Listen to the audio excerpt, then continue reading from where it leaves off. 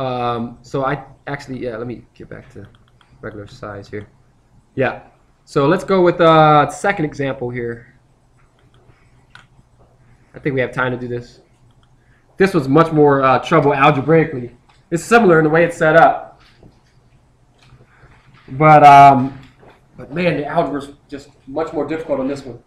Uh, suppose that the temperature at a point on a metal plate is measured by this formula 4x squared minus 4xy plus y squared. And you got this, this ant that's walking on the plate in the circle of radius 5, stuck on that track of being on the circle of radius 5, centered at the origin. The question is then, as this ant walks around this circle, centered at the origin of radius 5, experiencing different temperatures, this multivariable function, different temperatures based on the x and y position, the question is, what is the highest temperature and the lowest temperature encountered by the ant? This is coming straight out of a old final exam question, I think. I just don't have a tag on it as to which one it is. Okay? So there's a function and there's a constraint. We had to dig it out last time. It was subtle. Like the way they worded it last time, we actually had to go and kind of get clever as to how we get our function. Here's more obvious. The function is temperature. Okay? And the constraint is the fact that the ant is stuck on this track of being well, it's similar to the constraint last time. It's a circle centered at the origin, but it's a different radius this time. This time the radius is 5. Okay, so my lowercase f ends up as my capital T. And my g is just x squared plus y squared minus the 25. You know, equals the 25, and then set it equal to 0. Okay? And so I, I set this up by creating this capital F and taking it to partials and making sure they're all zero at the same time. Forcing the gradient on this capital F function to be equal to zero. So x partials, it's, you know, you just get 8x minus 4y minus 2x lambda.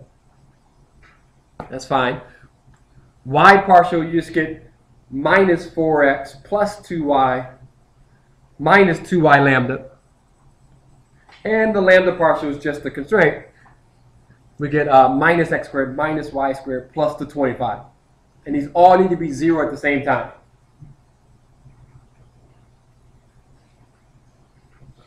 That symmetry that we had last time doesn't exist here. And so, so it won't be um, such an easy thing algebraically. But we set these all equal to zero. And how you navigate that is up to you. Here's one way. So when I set this equal to zero, I'm going to um, shift over the 4y by adding it to both sides. And, and um, I recognize that this, this 8x and this 2x share something in common. I mean, this 8x and this 2 lambda x both have a 2x in them. Okay, so I'm going to go with this this idea of okay, 4y is is is different. I could, I could have taken out a 2, but um, that'll come later. And so I, I um, basically I'd like to say that when I factor out the 2x, I'm looking at the product. But be careful here. You know, when we do this whole product thing equal to 0, the key is that it's equal to 0. Okay? Please don't try to say that either 2x is 4y or 4 minus lambda is 4y. You know, that, that zero property is the zero property. It has to be set equal to 0. Two numbers multiplied to give you 0. One of them has to be 0. Two things multiplied to give you 4y. Maybe neither of them are 4y. Anything non-zero, it could be anything. And so, so don't, don't, don't make something, you know, don't do illegal algebra, basically. okay. Um, similarly, we can do with, um, we can solve for, uh, it's going to be a substitution. I don't know if this is the best way, but here we go. Solve for y there's no division by zero in this. Solve for y and sub it into the other guy. Okay, so if I solve for y, I get x over 2 times the quantity of 4 minus lambda.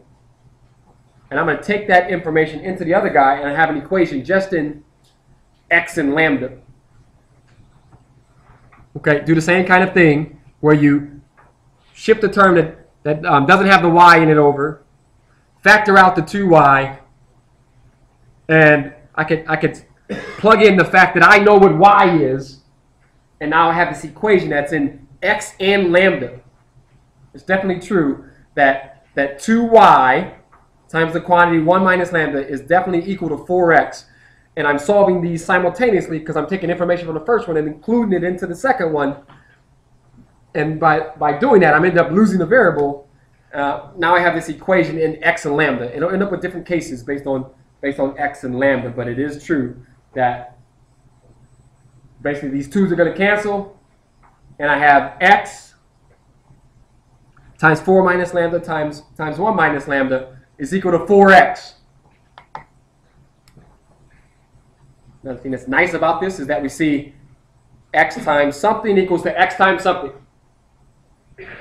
Technically, you want to just cancel the x's, right? But officially then, by doing that, you are dividing by x. It's possible that x could be 0. So we need to consider that. Just go down that road. If you don't consider it, that's only going to be worth a point or something, but, but we should go down that road. It's, it's on the circle. X being 0 is on the circle. So consider it. See what happens. Okay. So, um, yeah, let's take that. Ah, let's see. Let's deviate from this. So my two options are that either x is 0 or 4 minus lambda times 1 minus lambda is 4. One of these is true. It could be that both of these are true. Okay. All right, great. So what does that mean to us? Um, now, let's let's take this x equals 0. It won't be a long road. We'll, we'll realize that this is this is um, not not going to be useful to us. If x is 0, then what is y? Okay. And if x is 0 and y is 0, you're at the origin. You're not on the circle. So go down the road, technically, but usually it ends in nonsense. If x is 0, then y is 0. So, um, but that's the origin, and that's not on the constraint, not on the circle. Okay, that's our case one, if you want to call it. So it must be true here, then, that 4 minus lambda times 1 minus lambda is equal to 4. Okay, and let's, let's go down that route. See where that leads us. Uh, yeah, I'm just going to do it here. Um, so 4 minus lambda times 1 minus lambda. Let's multiply that out. Don't think that this is now either this guy's 4 or that guy's 4. Remember, that only works for 0. 0 property of multiplication. Okay, so so we multiply out. We say, well, that's 4 minus how many? Minus 5 lambdas plus lambda squared.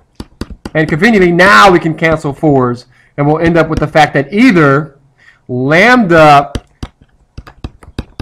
is 0 or lambda is 5. Now we can say that.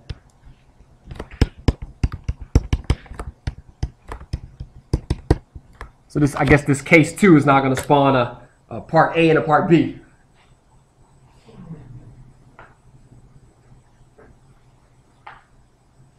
Okay. And so, on the one hand, lambda could be 0. On the other hand, lambda could be 5. At this point, I think we can, let's say if I keep this and I go to this next slide. Okay, so, so the algebra that I got to to get there is different. But here it is. Let me just uh, finish this off for you. So uh, ignore this algebra that I got to get here. Or I guess I did do it. X is, okay, it is there. Okay, I just I just did it differently by by not um, by by moving the 4x over. I don't like that as much. I like this better. So anyway, um, I like what we had done better. So lambda is zero, or lambda is five. Remember the connection though. What's the connection? That y is x over 2 times 4 minus lambda. So if lambda is 0, immediately that means that y is twice x, right? Lambda is 0. Plug that in. Then y is twice x. There's your relationship between y and x that you were trying to go out and get. It happens to be the same one as last time, it's just a coincidence. okay. And then follow that through. Go back to your constraint. Once you get that relationship between y and x, take it into your constraint. Yes, x squared plus y squared is equal to 25. So x squared plus, it's the same thing, 5x squared. And so we divide by, so, so x squared is 5. So x is plus or minus root 5. And y is double that. Those are two points. And then we go down the other route of lambda being equal to 5. Plug that in here. That says that y is the opposite of x over 2. Plug that into your constraint. This time you get x squared plus x squared over 4, or 5 fourths of x squared. 4 fifths. So you get that x squared is 20. And you take your root, you get plus or minus 2 root 5. But remember now, y is negative x over 2. So if x is plus 2 root 5, then y then is uh, a negative root 5. And if x is negative 2 root 5, plugging it in, you'll get that y is root 5. So these are the four points that come out. Yes, there's four points, but it's only going to end up in two different temperatures. Okay, plug these into the temperature equation, and you'll see that you end up with just two different temperatures. And um, the biggest temperature is the max, and the smallest temperature is the min. Questions? All right, so plug these in, and we get um, uh, what is this? Uh, zero at the uh, the places where x is plus or minus root five, and 125 at the places that x is plus or minus negative two root five. So zero is your min temperature, and 125 is your max temperature. No argument need necessary after that. So you're done. Okay. Um, so uh, let's say I keep that for whatever reason. And then here's that same problem, but done in the uh, lambda f equals lambda g way. It works out nice. Anyway, so uh, have a good break. Uh, safe travels. I'll see you back here on the 11th. All goes well.